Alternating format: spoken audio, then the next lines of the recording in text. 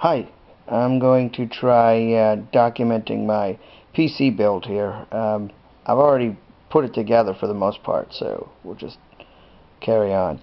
Alright, what, what you're looking at here is a gutted out case, um, a shuttle uh, SV24 case that I've somewhat gutted out.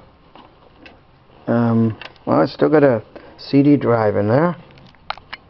And uh, I put in a USB hub kind of deal through this nice wonderful little pigtail USB connector. And uh, well the case is big. The power supply is a little noisy. I wanted to make something quieter. So we move on to this little guy here the M305 uh, case. Um, it's very nice. The motherboard that I put in, that I took out, that I had in there, since the original SV24 board kind of went kaput.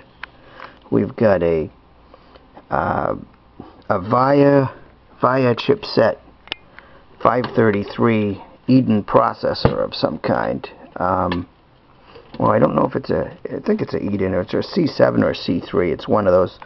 I decided that since I did, I hadn't ordered the uh, Pico supply, which I knew I needed, I decided I was going to do a little jumper cable uh, power supply deal here. The internal 140 watt power supply from the SV case.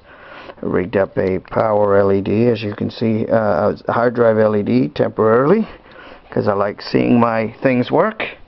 And, uh, alright, um, I don't have the, uh, holy moly. I didn't set up my tripod. Well, c'est la vie. Okay, we'll just plug her in and we're all ready to go. As far as I know, I've already had it up and running once. So we'll plug her in. Alright. We should have some juice now. Uh, monitor should be on. Which I think it is. Um, it might not be. Alright. Uh, yeah. Ooh, don't have the hard drive hooked up, but that's okay. We'll just turn it on real quick, just to make sure we got something still. Yep. Now the only thing that's making noise is the power supply. The motherboard should still be functional. It's my own fault for uh, not turning on the monitor now. There we go. Yeah, see, we have a slight hard drive failure. Um, because I disconnected the hard drive. See? Look, no hard drive. Okay, Let's try this again. Part 2, stand by.